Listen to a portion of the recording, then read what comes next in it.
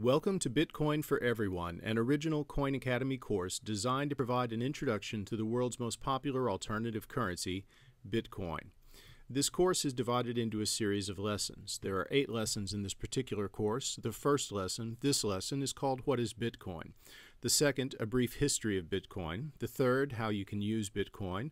The fourth, Investing in Bitcoin. The fifth lesson is entitled Understanding the Risks. The sixth, before you buy your first Bitcoin. The seventh, how to obtain Bitcoin. And the final lesson, how to get your money out of Bitcoin.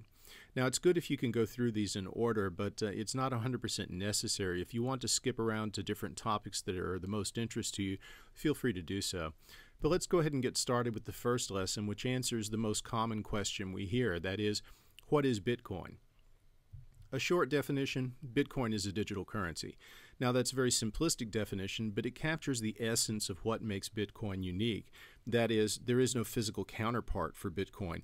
There is no piece of paper, there is no scrap of metal that represents the currency. Instead, it's a string of numbers that resides somewhere on a computer. There's nothing for you to lock away in a bank account, put in a physical wallet, etc.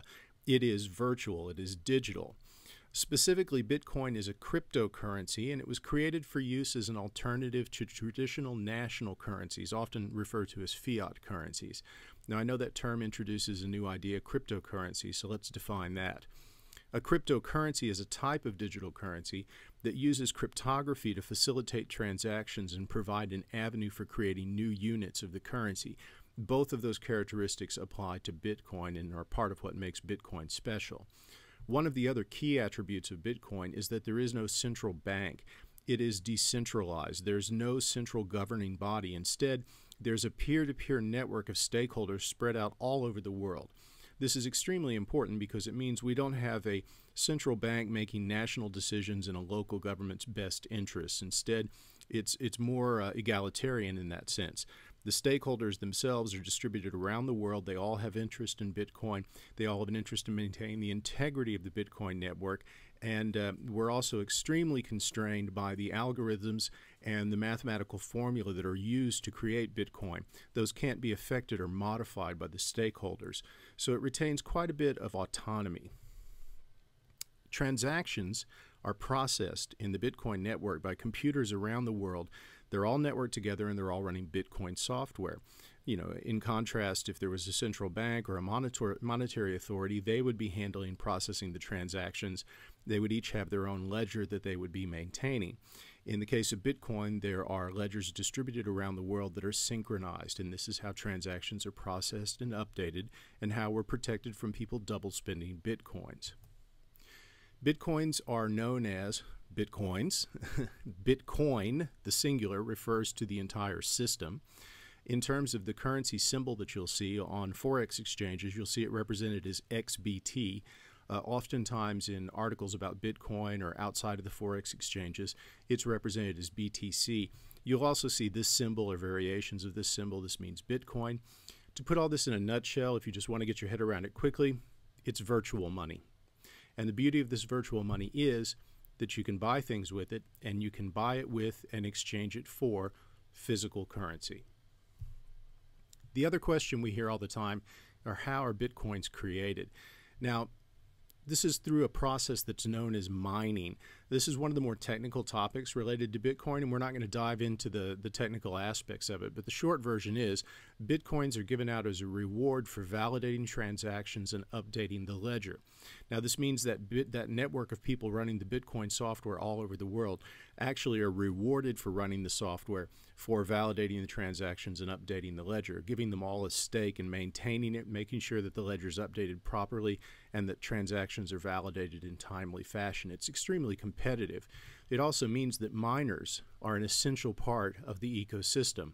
They earn new bitcoins for their work. At least they will up to the point that uh, Bitcoin cease to be produced. And that brings us to our next topic, which is the creation of Bitcoins and the fact that it's strictly controlled.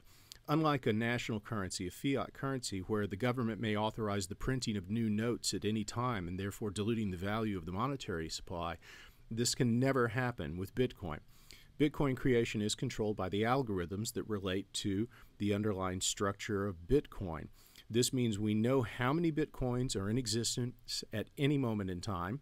We know when the next bitcoins will be created. They're created about every 10 minutes. We know exactly how many will be created in total across the entire life of the Bitcoin creation process. There's a cap on the total number. And that after that cap is reached, no more will be created. Now, that cap's not going to be reached until the middle of the next century, so it isn't something that bothers us right now. But this whole idea that the supply is controlled and we have certainty on the supply uh, is one of the key attributes of Bitcoin because what it means is that Bitcoin is largely isolated from inflationary currency factors. And what I'm talking about here is the dilution of the value of the money supply due to the printing of new money.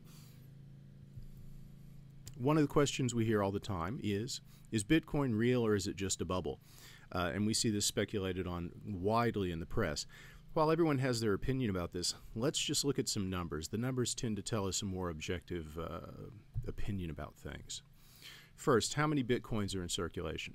Well, at the time this was recorded, there were 13,198,475 bitcoins in circulation. Now, this will change by the time you've watched this because, again, they're created every 10 minutes. The current valuation of a single Bitcoin in US dollars is $508.12. This means the total market cap for the Bitcoin money supply is $6.7 billion, a significant sum. Moreover, in the last 24 hours, 69,681 Bitcoins changed hands. That means our 24 hour turnover was $35.4 million. Significant numbers change in value over the last 12 months, Bitcoin has increased in value 370%.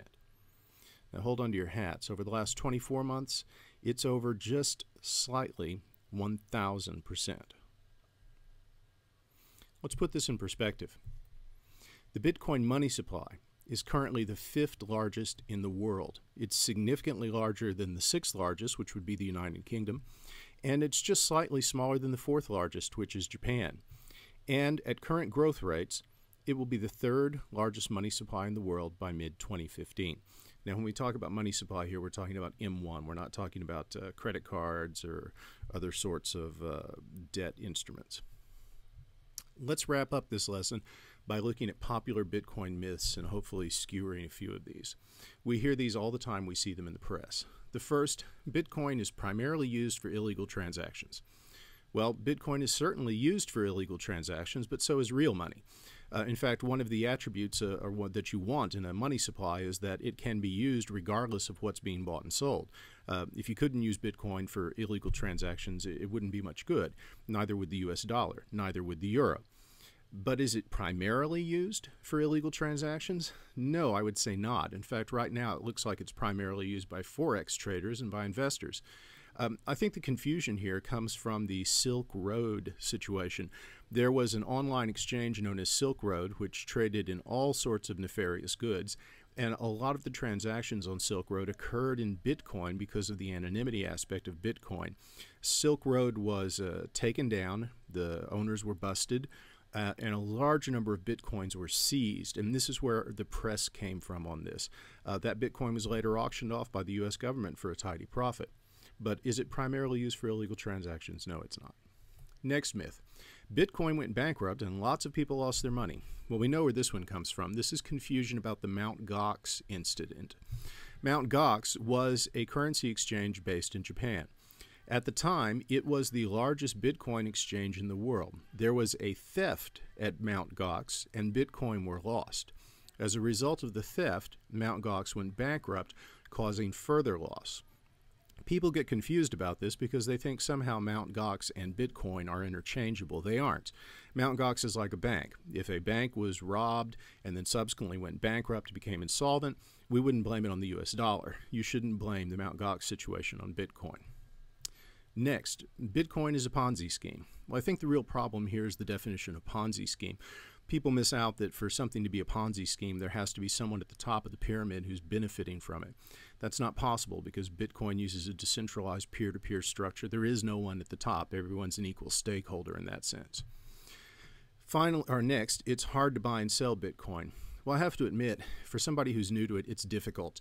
Uh, but it's not impossible, and certainly once you understand the basic concepts and you have the right tools, um, it's not hard at all. In fact, it's very, very simple. It's very easy. Um, and I think it's getting easier and easier. And then the final myth, and this is one that's just cropped up recently Bitcoin was created by the CIA. I honestly don't know where this one comes from, other than just the general conspiracy theorist tendency to blame everything on the CIA. Um, if it was created by the CIA, and we don't know who the original creators of Bitcoin were, frankly, um, but you know we should thank them. but uh, it makes no sense because it is a open source software system. Uh, anyone can see the code, anyone can work with it, anyone can download it, put it on their computer, and use it. Um, it, it, really doesn't serve any benefit for it to have been created by the CIA.